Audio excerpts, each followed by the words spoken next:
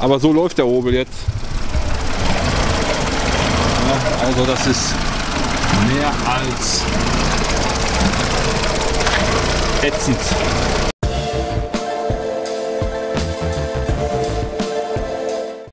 Ja, hallo zusammen. Heute geht es um einen Golf 4. Da ist ein 1.6er Motor drin, glaube ich. Ich habe auch nur den Schlüssel. Und äh, da soll jede Menge dran sein. Die Werkstatt hat wohl nachgeguckt und hat wohl für sich festgestellt, dass sich das Ganze wohl nicht mehr lohnen soll. Das Ding muss auch in Kürze zur Hauptuntersuchung und man hat mich gebeten, ganz einfach mal nachzuschauen, was mit dem Hobel ist. Und ich dachte, wir fahren den mal gemeinschaftlich. Was bedeutet, Schlüssel habe ich. Ich hoffe, dass Fahrzeugschein im Auto ist, habe ich natürlich jetzt auch irgendwie so noch nicht gesehen.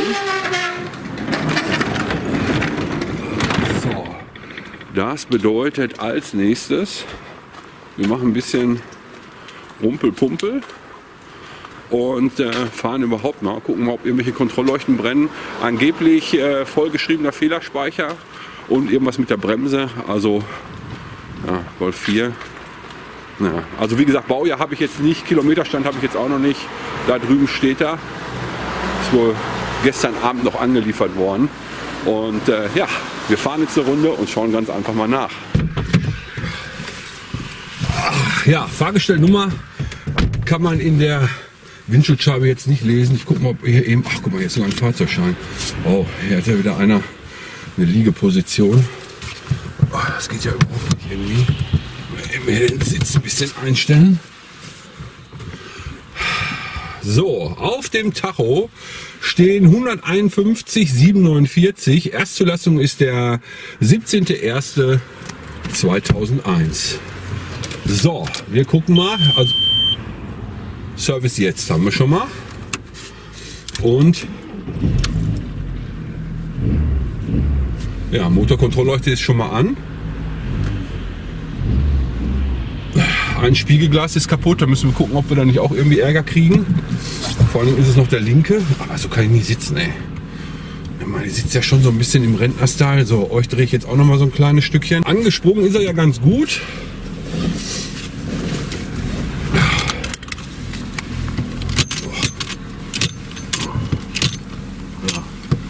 Gut, Handbremse geht gar nicht. Zeige ich euch natürlich auch gleich noch mal eben. Ah, Kupplung läuft. Drehen wir erstmal. Schmeißen wir das Ding jetzt erstmal hier rum. Oh, Attacke, schnell weg. Klopft halt auch irgendwas.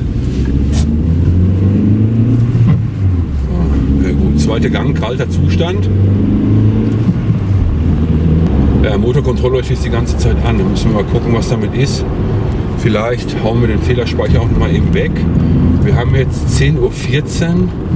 Die Abnahmestelle hat natürlich noch ein bisschen auf. Vielleicht lassen wir ihn ja einfach mal abnehmen. Ich meine, er wird mit Glanz und Gloria dann durchfallen wahrscheinlich. Aber wir haben wenigstens was, was wir uns entlanghangeln können. Ja gut, zweiter Gang, der synchronisiert natürlich mehr als schlecht. Vielleicht ist auch kein, gar kein Getriebe mehr drin, das wissen wir mittlerweile ja auch nicht mehr. So, Wischer. Scheibenwaschanlage ist leer, vorne, hinten. Geht gar nichts. Tolle Wurst. So, aber so laufen tut er erstmal.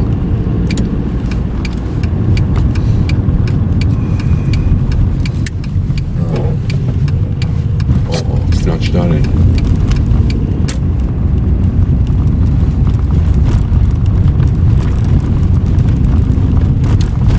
Aber jetzt übertrieben laut oder so? Ist er nicht. Ja, die Werkstatt hat wohl Fehlerspeicher abgefragt und da war wohl wirklich alles vollgeschrieben. Ähm, allerdings auch wohl jede Menge sporadische Fehler. Ich gucke mal, ob ich das Fehlerprotokoll finde, dann blende ich euch das natürlich nochmal entsprechend ein. Und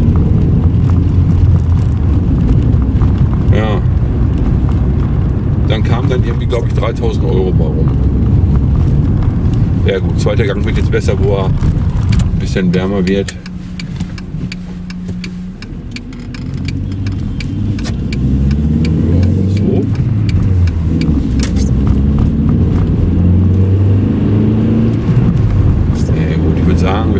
Garage. Probefahrt hat er erstmal so halbwegs bestanden.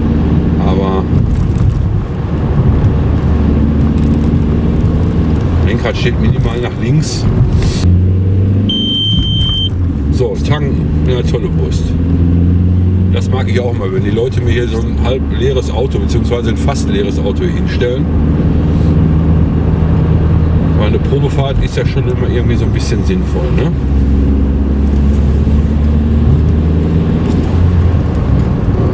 Aber wenn die Kontrollleuchte angeht, haben wir ja noch so 60 Kilometer. Das müsste reichen. Das heißt, wir fahren das Ding dann ganz leer. Und dann derjenige, glaube ich, auch von etwas weiter weg.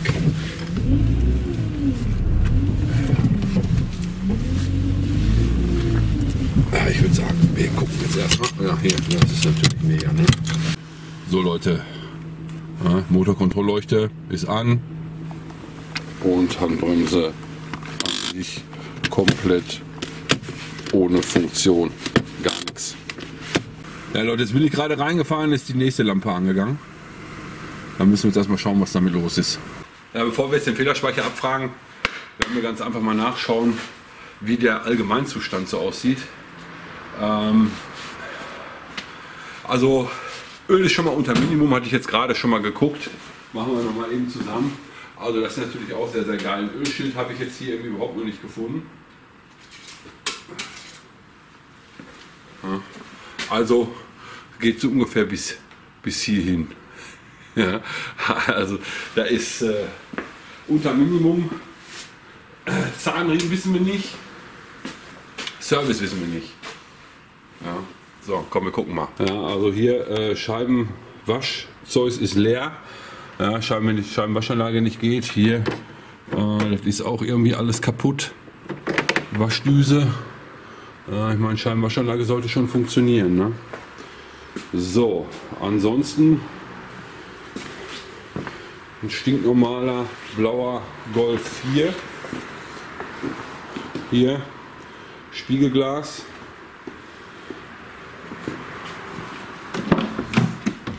Und hier, ich hoffe, ihr könnt das erkennen, also praktisch das mit der, mit der Handbremse ausgehakt.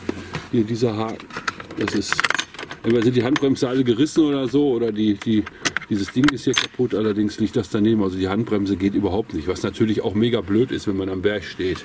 So, wenn wir jetzt mal gucken, Reifen an sich sind noch gut, Stoßdämpfer sind dicht, Bremse, na, von der Belagstärke her würde ich sagen, ist das Ganze noch in Ordnung. Da hinten sieht sie natürlich schon nicht mehr so prickelnd aus. Wir gucken jetzt ja ziemlich breite Rostkante. Also so ganz so geil sieht das alles nicht mehr aus. Vielleicht haben wir auch wieder feste Sättel. Das kennen wir ja vom letzten Mal, aber Reifen sind in Ordnung. So, Beleuchtung. Das ist auch soweit in Ordnung. Das sieht auch in Ordnung aus. Wischerblatt ist natürlich auch hier kaputt. Na, die Summe macht es dann. Ne? So, Stoßdämpfer sind dicht. Bremse hinten. Na, kann ich schlecht sehen, doch da. Naja. Aber Reifen sind noch gut. Das wundert mich so ein bisschen. So, vorne. Ja. Ja, Belachstärke ist auf jeden Fall okay.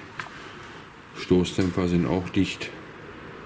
Naja, gucken wir mal. Ne? Irgendwas hat ja auch gequietscht, vielleicht die Gummilage. So, wenn ihr da mal schaut, also die hängen auch so ein bisschen daneben. Da hinten sieht man das andere Gummilager. Ja, ist auch nicht mehr so prickelnd. Ja, als wir in unsere Rumpel-Pumpel-Strecke äh, abgebogen sind, hat es ja einmal so komisch geknatscht. Und das ist ja oftmals die Stabilagerung, die dann da Geräusche macht. Das ist dann das nächste. Ne? Ich meine, wenn es jetzt nur Geräusche macht, lässt sich das ja vielleicht noch verkraften. Aber wenn das natürlich alles ausgeschlagen ist, Stabi sorgt dafür, dass euer kurveninneres Rad beim Abbiegen natürlich auch auf der Straße bleibt. Aber ganz so der Knaller ist das nicht. Jetzt haben wir gleich noch die Fehler. Wir werden aber eben noch mal eben von unten, also wir werden jetzt noch mal eben von unten schauen, ob da noch irgendwelche Auffälligkeiten sind.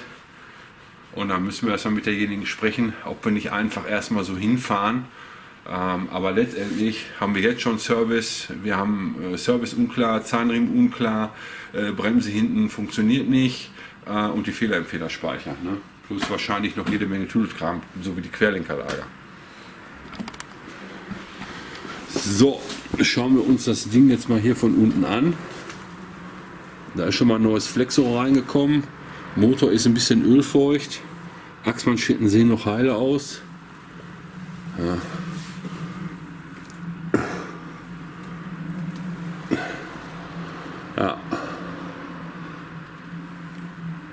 So, wenn wir jetzt hier mal gucken, Stoßdämpfer, Federn, das sieht auch alles noch gut aus.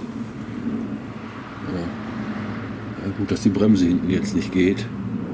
So Leute, ich habe jetzt mal versucht, das Gestänge wieder einzuhaken. Ich meine, ganz von alleine geht sowas natürlich auch nicht raus. Wer weiß, was da vorher mit passiert ist. Aber jetzt werden wir die Handbremse grob einfach einstellen. Äh, ob sie natürlich dann wirklich einwandfrei funktioniert, kann, kann ich natürlich nicht sagen. Das heißt, ich werde jetzt die Mutter wieder so weit vordrehen, dass er so drei, vier Zähne hat. Wieder, aber ihr seht mal. So. Das ist komplett schief. Das heißt, dass wahrscheinlich ein Sattelfest ist oder ein Handbremsseil, weil das Handbremsseil ist leichtgängig da drin, aber das sieht mir dann eher so aus, als wäre ein Sattelfest. Jetzt ist das Ganze natürlich auch schon, keine Ahnung wie lange, nicht mehr betätigt worden. Jetzt gucken wir mal, ob die Räder frei werden. Es ist schon Mist. So, ich mache jetzt mal hier los. Gucken, ob sich die Räder frei drehen. Ah, schleift. Schleift. Und drüben, hier geht's besser. So, müssen wir natürlich mal. Also wahrscheinlich entweder Sattel oder Seil. Wenn ich mir das angucke, wie das da eingehakt ist, wird es wahrscheinlich eine Mischung aus beiden sein. Aber es ist erstmal eingehakt. Da kann man auch das schlechte Tragbild sehen da hinten. Also Bremse hinten komplett. Ja Leute, ist natürlich dann die Frage, ne? wie, viel, wie viel will man noch reinstecken? Werden wir uns noch mal eben um den Fehlerspeicher kümmern. Das ist ja auch eine Sache, äh, da bin ich auch mal gespannt, was da drin ist. Vielleicht sind es auch nur sporadische Fehler. Vielleicht kriegen wir die auch irgendwie weg. So, jetzt schließe ich das Ding erstmal an. So Leute, bevor wir das Ding aber laufen lassen, machen wir mal eben noch ein bisschen Öl in den Motor. Wenigstens ein bisschen. Und dann lassen wir das Ding jetzt mal laufen und fragen mal eben den Fehlerspeicher ab. Ah, ich hätte mal meinen Laptop zwischendurch laden sollen. Hat nämlich nur noch 9% Akkulaufleistung. Ich hoffe, das reicht jetzt noch, dass er jetzt eben einmal durchrauscht. Und dann hauen wir die Fehler erstmal alle weg. Und dann werden wir noch mal eine Runde fahren. Wer weiß, wie lange die schon da drin sind. Aber lassen wir ihn erstmal rödeln jetzt. Ja, noch 5% Akku. Komm, wir gucken mal eben. So, das sieht natürlich alles nicht so geil aus. Wir haben Fehler in der Lambda-Regelung. Lambda-Sonde, Motorsteuergerät gesperrt, Bremsenelektronik, Sensor für Querbeschleunigung, sporadischer Fehler, das ist jetzt, warum die Lampe wahrscheinlich gerade anging, Schalltafeleinsatz, Kombi-Instrument, Motorsteuergerät entsperrt, gesperrt, keine Kommunikation, Diagnose,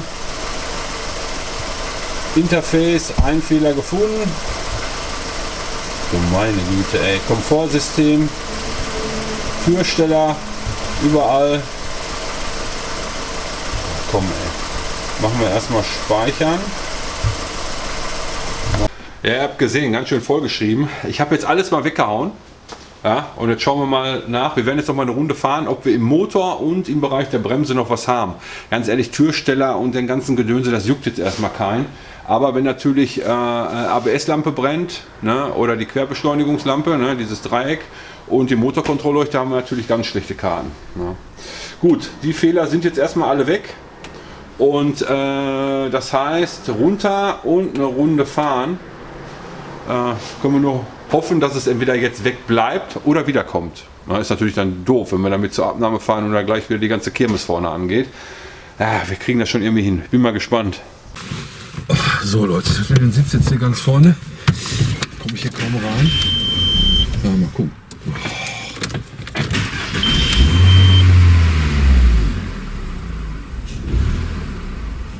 Äh, läuft wie ein Sackbüsse das Ding, ey. Theoretisch wenn er nicht richtig läuft, kommen wir auch nicht durch die AU. Aber wir werden jetzt einfach mal, ich muss ja jetzt eh das Kabel holen. Und dann werden wir mal gucken, ob irgendwelche Kontrollleuchten jetzt noch mal angehen. Hier gut Handbremse. Ist natürlich jetzt, kannst du immer noch bis zum Mond ziehen. Aber ist schon besser. Zumindest ist es ja jetzt eingehakt. Sehe ich den Leerlauf?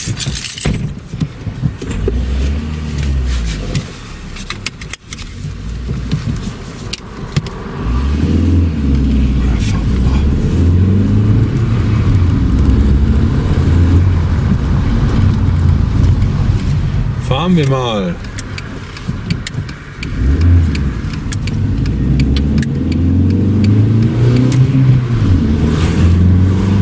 So cool tut er nicht.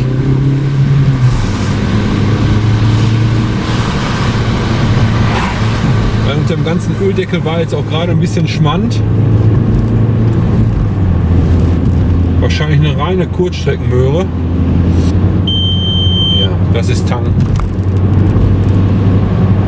Bitte tanken. So. Läuft da gar nicht so schlecht, hätte ich jetzt so gesagt. Außer vielleicht. Ja, das Geknatsche wird der Stabi sein. Schieben wir mal ein bisschen durch, oder?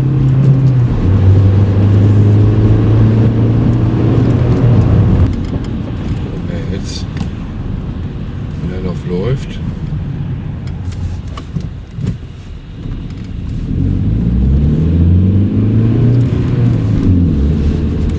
Ist hier Handbremse.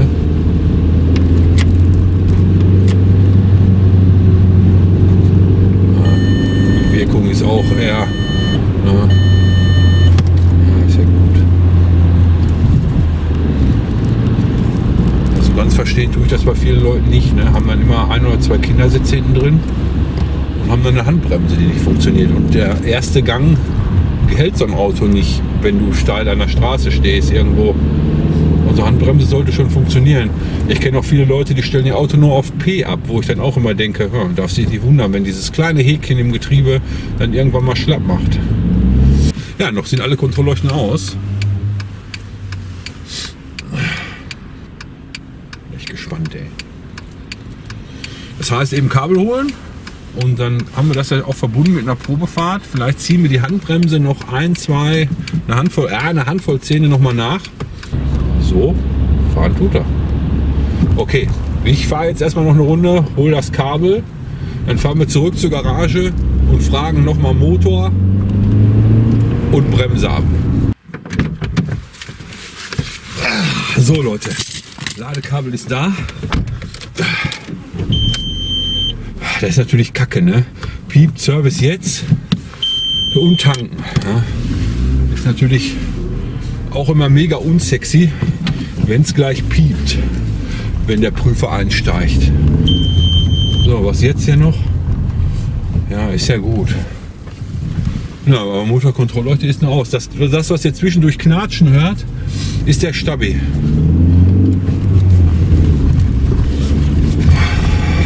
Sollen wir hinfahren oder sollen wir nicht hinfahren? Also wir machen jetzt folgendes. Wir fahren jetzt wirklich nochmal. Wir fahren zur Garage und wenn der Motor sauber ist und äh, Bremse auch. Na, komm schon. Nee, zieh durch. Dann fahren wir rotzfrech hin. Wir dürfen ja auch eine, ich glaube 50% Abweichung dürfen wir hinten an der Bremse haben. Ich sag mal, selbst wenn es die Bremse dann ist, ist ja drauf geschissen. Ne? Dann machen wir die neu. Das Handbremse sah jetzt nicht mehr so geil aus. Ich weiß auch jetzt nicht, ich meine, er zieht schon hinten. Aber irgendwie ist das alles nicht so sexy.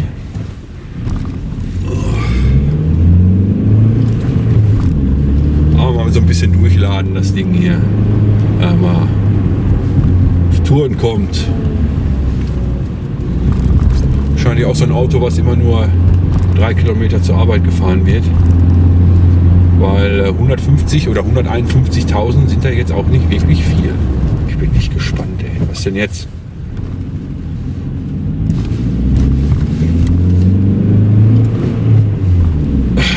Weil wir haben jetzt halb zwölf. Echt, haben wir halb zwölf? Jo, wir haben schon gleich halb zwölf. Mal gucken. Wäre natürlich noch geil, wenn wir eben Fehlerspeicher abfragen könnten und dann einfach hinfahren.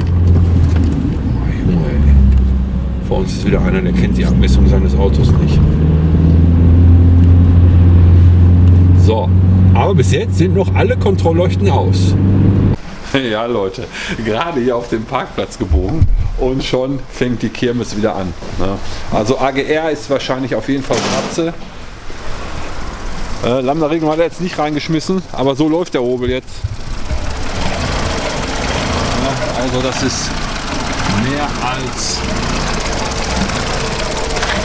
ätzend.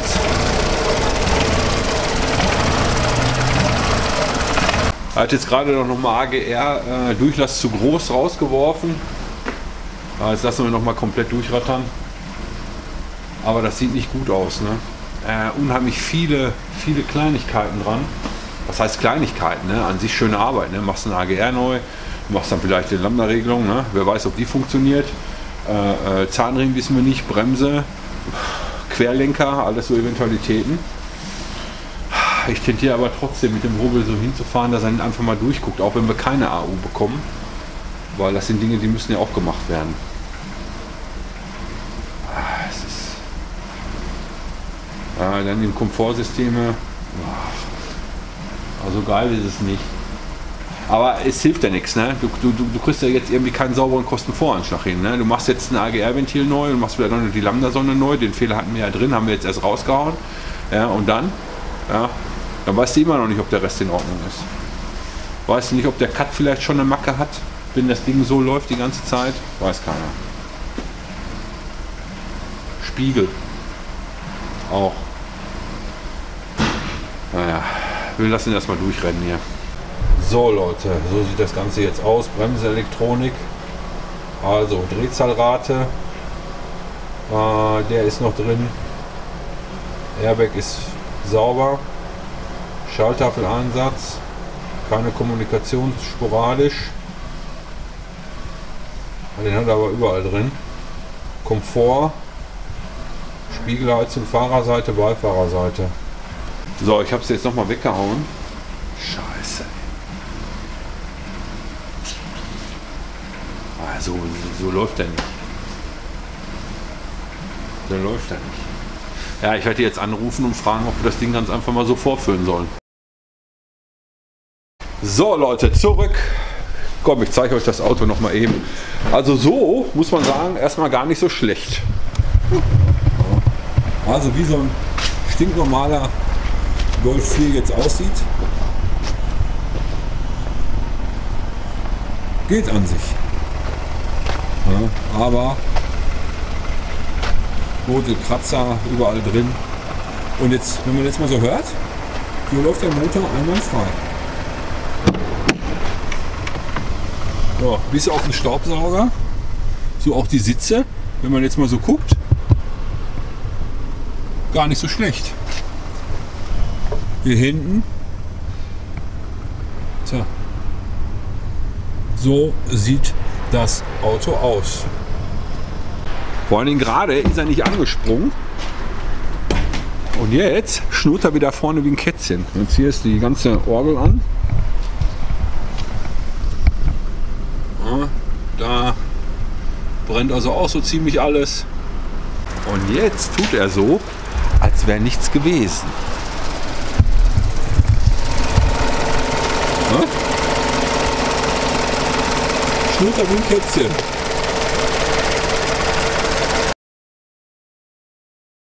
Mit diesen ganzen Wenns und Abers und vielleicht kommen wir nicht weiter. Aber äh, der Fehler ist auf jeden Fall wieder drin äh, AGR-Rate ist zu hoch. Das heißt, äh, da ist irgendwas, also ist, ist, ich gehe mal davon aus, dass das AGR-Ventil kaputt ist. Vielleicht ist es auch nur verschmutzt, das weiß ich nicht. Der Leerlauf ist natürlich mega kacke. Und äh, natürlich auch hier der äh, Geber für Drehrate. Ne? Die Kontrollleute brennt auch, ich kriege es auch nicht aus. Der Fehler ist sofort wieder da.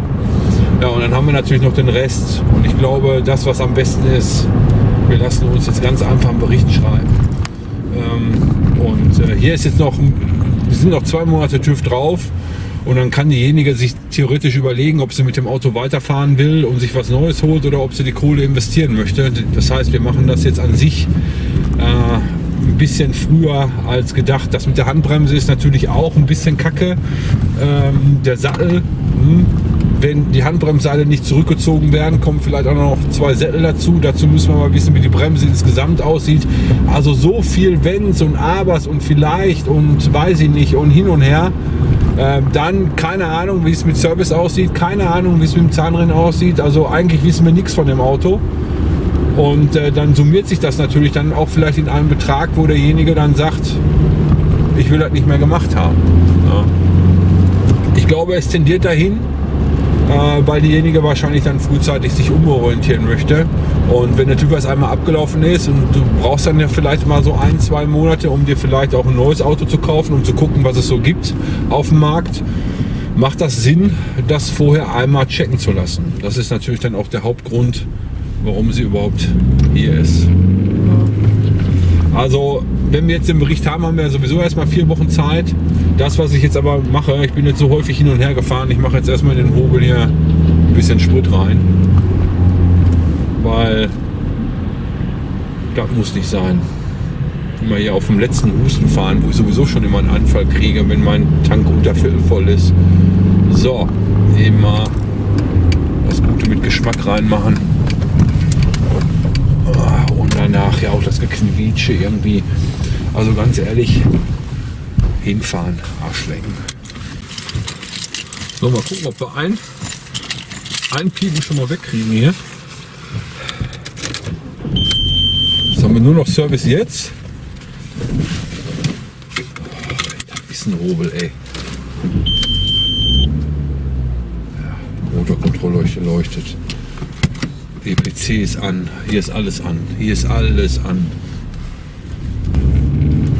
Das wird lustig. Also mit, mit so einem Kasten bin ich auch noch nicht hingefahren. Hier brennt die ganze Kirmes. Hier ist die ganze Kirmes zugange. Ach, jetzt geht er auch schon aus.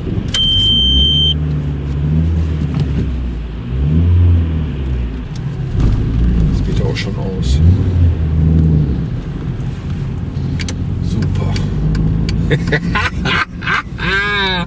ah, da muss man natürlich auch ein bisschen aufpassen, dass man sich nicht lächerlich macht. Ne? Rennt die ganze Kirmes. AU können wir daher abhaken. Ist das ein Hobel, ey.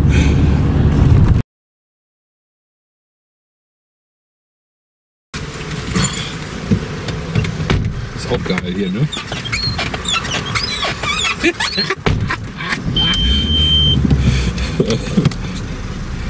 Also man soll es nicht glauben.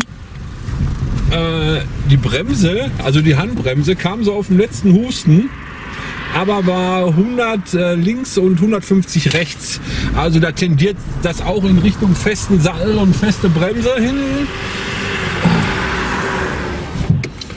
Aber ganz ehrlich, ich glaube, da muss einer den ganz spitzen Bleistift nehmen. Den ganz spitzen Bleistift, wenn du sowas noch... Boah, das ist ausgegangen, ey. Das ist natürlich auch geil, ne?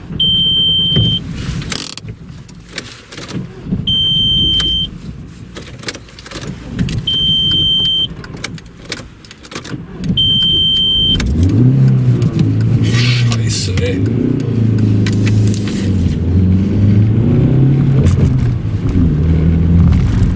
Es läuft da wieder. Ach, du ahnst es nicht. Koffer hat sie auch schon lange nicht mehr. Ja, AU haben wir drauf verzichtet. Oh ja, ist denn heute los? AU haben wir drauf verzichtet, weil das macht überhaupt keinen Sinn. Ihr habt es jetzt gerade gesehen. Jetzt ist die äh, äh, nur noch die Motorkontrollleuchte an. Also das, das, das variiert auch so nach Kilometern. Ne? Je nachdem ist das sehr, sehr unterschiedlich, was hier für eine Lampe brennt. Aber ich glaube, das Ding äh, geht auch aus.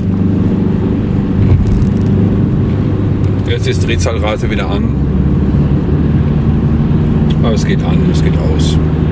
Gut, der Zettel ist vollgeschrieben hier. Na? Ne? Aber wir haben jetzt was, was wir schwarz auf weiß jemandem zeigen können und sagen, pass auf, so und so sieht es aus. Und unabhängig davon, ob jetzt hier noch Öl im Getriebe ist weil äh, Motorölfeucht steht also auch drauf. Äh, das sind natürlich alles Dinge, das kommt natürlich noch hinzu. Inspektionen wissen wir nicht, Zahnriemen wissen wir nicht, Bremsflüssigkeit wissen wir nicht. Das sind natürlich alles Sachen und äh, ich glaube diese 16V-Dinger, ey komm bleib an ey. Ach komm ey. Und? Ja, er bleibt an. Jetzt guck mal, es läuft ja sogar im Leerlauf wieder. Also Sache ist vollgeschrieben. Traktionskontrolle, Fehlfunktion. Bremsscheibe, hinten rechts und hinten links mangelhaft. Bremsbelag, mangelhaft. Ja. Also Bremse löst sich hinten auch nicht richtig.